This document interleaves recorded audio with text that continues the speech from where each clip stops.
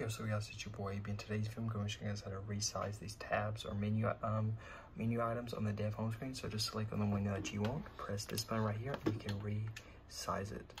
Um, so you can make it bigger just by pressing the arrow keys um, or smaller. So I hope you guys enjoy this tutorial, and I'm out. Peace.